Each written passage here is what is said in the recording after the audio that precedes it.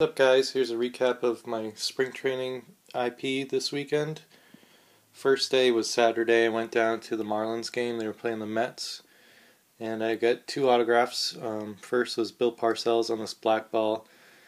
I had a Patriots full-size helmet and a Jets chrome helmet, which I forgot at home. So I just went ahead and got them on this black ball. And then I got this, I don't even know if I can get the whole thing in here. That's what he said. Um, this is a 20 by 30 of Ichiro. I had to use a poncho to protect this from the rain, and it was pretty much raining the whole time until about a 10 minute window before he came out. Came out, signed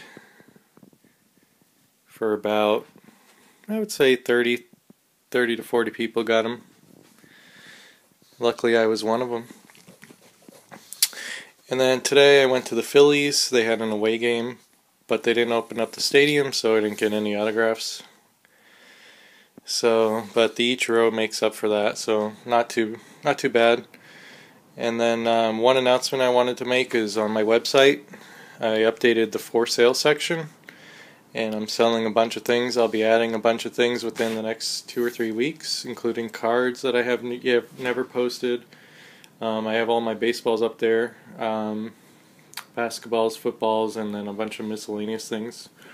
One thing that um, I have to tell you is that if you buy something and somebody had already bought it, um, there's no way of marking that uh, the item as bought. So there's a potential that you could buy something and somebody else had bought it like maybe half an hour before you.